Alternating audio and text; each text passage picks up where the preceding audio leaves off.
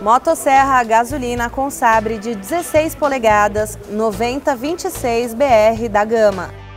É usada para manutenção de quintais e jardins, podar, desgalhar e cortar lenha. Possui motor dois tempos, 38 cilindradas e tanque de combustível com capacidade para 310 ml. O comprimento do sabre é de 40 centímetros e potência de 1,2 kW. Possui gatilho e trava de segurança.